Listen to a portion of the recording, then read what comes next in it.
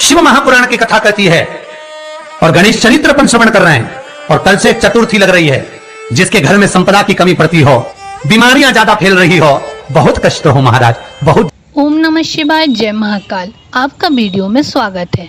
दोस्तों 21 जुलाई चतुर्थी तिथि है। चतुर्थी तिथि को भगवान गणेश जी का दिन माना जाता है।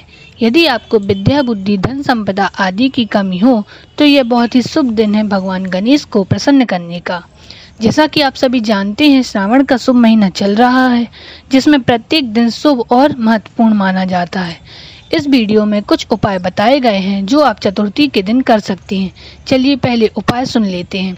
उसके पहले, यदि आपने हमारे चैनल को सब्सक्राइब नहीं किया है तो चैनल को सब्सक्राइब करना ना भूलें।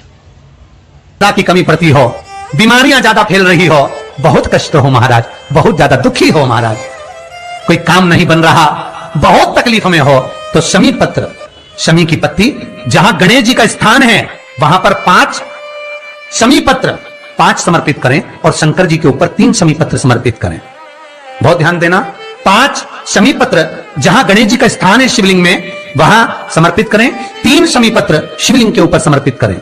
एक शमी पत्र शंकर जी की चौखट पर लेफ़्ट भाग में, जाते समय आपका उल्टा हाथ। जब मंदिर से निकलो तो उल्टे हाथ पर, लेफ़्ट भाग में शंकर जी की चौखट पर समर्पित करें, एक शमी पत्र और महाराज घी का दिया, जहाँ लेफ़्ट भाग में आपने शमी पत्र रखा है, मंदिर में ना दिया लगाकर, बाहर की ओर जहाँ शमी पत्र रखा है, उसके ठीक साइड में एक घी का दिया लगा दीजिए। जी का मोर ध्वज का मयूर ध्वज गणेश का नाम लेकर जो ये दीप शमी पत्र चढ़ा देता है, उसके घर से कभी रिद्धि सिद्धि नहीं जाती, देखो प्रतिष्ठा नहीं जाती, कर कर देखा नहीं जाती। कर कर देखना अगले साल तक आपका व्यापार कितना चलता है हमको बताना ज़रूर। गणेश जी महाराज की चढ़ी हुई केवल एक दुर्वा और उस दुर्वा को दरवाजे की दहली पर छुलाकर उस दुर्वा को अपनी अलमारी में अपनी तिजोरी में उसी दिन रख दो जिस दिन लेकर आयो महाराज। कभी ज़िंदगी में लक्ष्मी की कमी नहीं आ सकती। अब सुनते हैं गणेश जी को दुर्वा क्यों चढ़ाई जाती है? दुर्वा चढ़ाने से क्या लाभ होते हैं? दुर्वा कितनी दुर्वा गणेश जी को समर्पित करी जाती है मात्र पाँच। कितनी?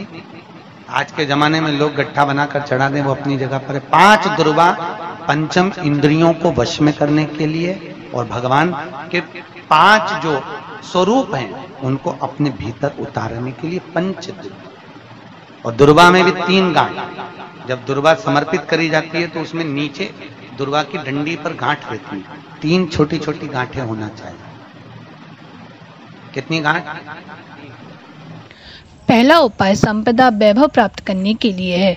बहुत कष्ट हो, कोई कार्य नहीं बन रहा हो तो आप यह उपाय कर सकते हैं। इसमें आपको नौ समी पत्र की आवश्यकता होगी, साथ ही साथ एक घी का दिया।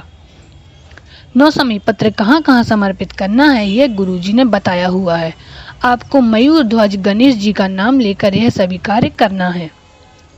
दूसरा उपाय, आप कभी भी किसी भी समय कर सकते हैं, लेकिन यदि चतुर्थी पर करें तो अति शुभ है। इसमें एक दुर्बा को उपयोग करना है, और वह कहाँ उपयोग करना है यह आप सुन चुके होंगे। मित्रों, हम आशा करते हैं आपको वीडियो में दिए गए उपाय समझ आ गए होंगे। यदि आपको कोई समस्या आ रही हो तो आप हमें कमेंट कर कर पूछ सकते हैं। ऐसे ही वीडियो देखने व सुनने के लिए हमारे साथ बने रहें और चैनल को सब्सक्राइब करना ना भूलें। यह वीडियो पसंद आई हो तो वीडियो को लाइक, शेयर और कमेंट करें। धन्यवाद।